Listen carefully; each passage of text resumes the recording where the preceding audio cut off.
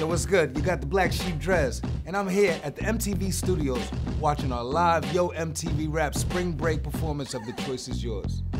Let's get into it. Yo!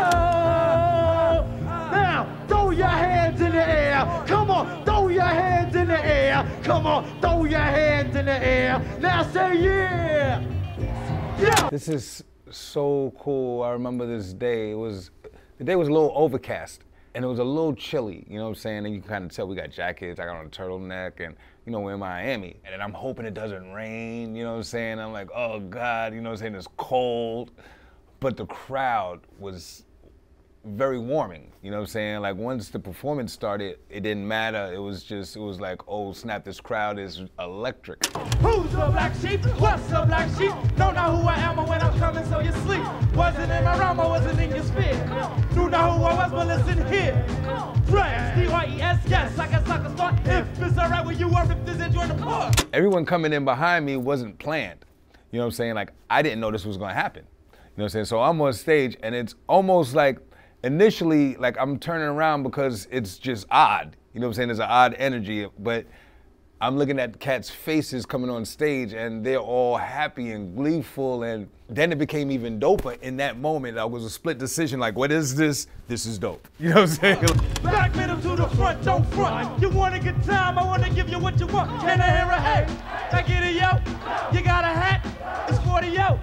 Styling is creative. Black sheep the native. You can't be violated or even disapplicated.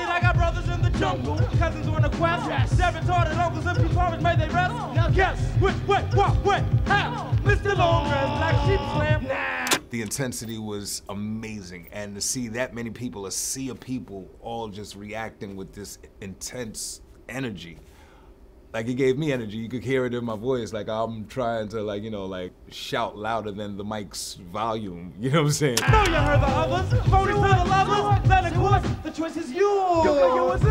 Or you can get with that. What? You can get with this. Or you can get with that. Say what? You can get with this. Or you can get with that. You can get with this. Why? Because this is kind of fat. Yeah. i remember when we were mixing the choice is yours and i remember turning to Lawnge and saying to him i don't know what we just did but i know we just did something and here 30 some odd years later to take my son to see transformers or spider-verse and my song is in the movie like you know like man i'm blessed beyond belief you know what i'm saying i'm i honestly feel like one of the luckiest people on earth and you know what to even bring a full circle after watching the rough of our film i was able to turn to tom and say you know tom i don't know what we just did but i do know we just did something you know what i'm saying and hopefully um 30 years from now i get to have this conversation again You can get with this. Or you can get with that. You can get with this. Or you